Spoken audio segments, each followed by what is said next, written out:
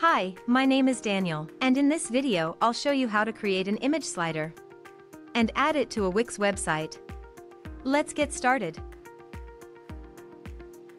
The image slider is a great addition to any website.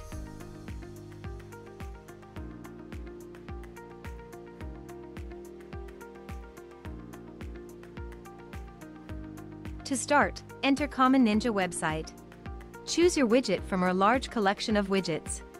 And once you've entered the widget page, click on the Create button to enter the image slider editor. Here, in the editor, you can edit the content. Customize the image slider look and feel. And change the settings. When you're done, click the Save Changes button to save your work. If you don't have an account on Common Ninja yet, you'll have to register first. When you're ready to add the image slider to your website, go back to the dashboard. Now, on the dashboard, you'll see the widget you've created. Click on the Add to Website button. In the window that opens, copy the code.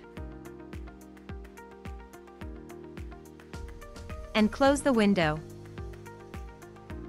Remember, you can always return to the widget and keep on editing it.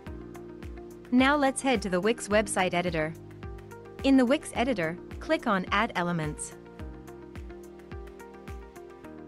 And in the Elements panel, under Embed Code, click on Embed HTML.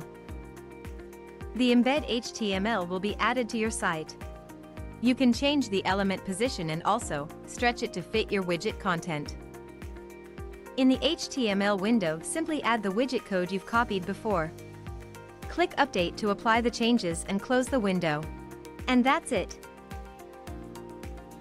Now, the image slider will show on your website.